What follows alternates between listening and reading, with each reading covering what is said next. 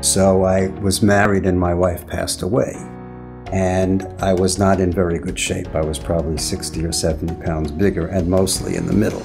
So I decided that um, I needed to take better care of myself and be able to take care of myself. It was a time for take charge of my life, lead a new life, start dating, start being out there in a different way, working out, trimming down, having uh, a procedure like Emsculpt.